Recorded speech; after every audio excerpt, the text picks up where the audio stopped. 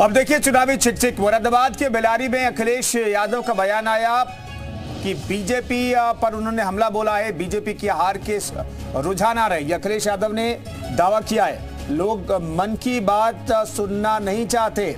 लोग संविधान की बात सुनना चाहते हैं। अखिलेश यादव ने तंज कसा है।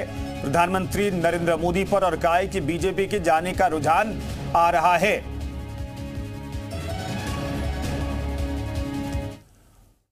किसान की आय दोगुनी नहीं हुई, नौजवान को नौकरी नहीं दी, और अब तो भाषा बदल गई। ये भाषा हारने वालों की होती है। जो रुझान आ रहे हैं बीजेपी की तरफ़ से, वो हार के रुझान हैं।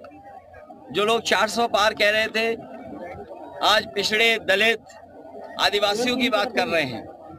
जिन पिछड़े दलित आदिवासियों का हक और सम्मान इन्होंने छीना, जो संविधान अधिकार देता है जिसको छीना उसकी बात कर रहे हैं, सोचिए आप। कहा 400 पार? कहा आज पिछड़े दलित आदिवासियों की बात? ये इस बार इस चुनाव में मन की बात लोग नहीं सुनना चाहते हैं, संविधान की बात सुनना चाहते हैं।